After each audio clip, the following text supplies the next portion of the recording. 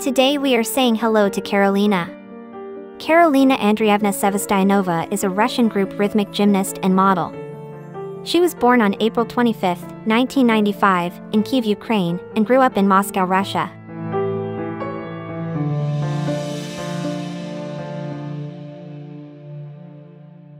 She is the 2012 Olympics Group All-Around Champion and 2010 Youth Olympic Games Group All-Around Champion.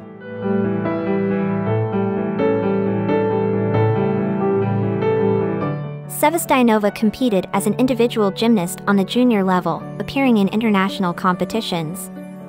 She also competed in Miss Valentine 2005 in Estonia with Margarita Mamun. Later, she started competing with the Russian group. She retired from gymnastics in 2012.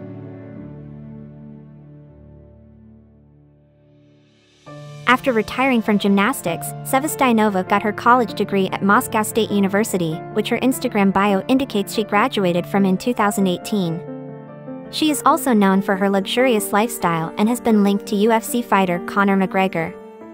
Sevastyanova is active on Instagram, where she shares her photos and videos. So, what did you think of Karolina? Isn't she sensational? Tell us what you think in the comments below.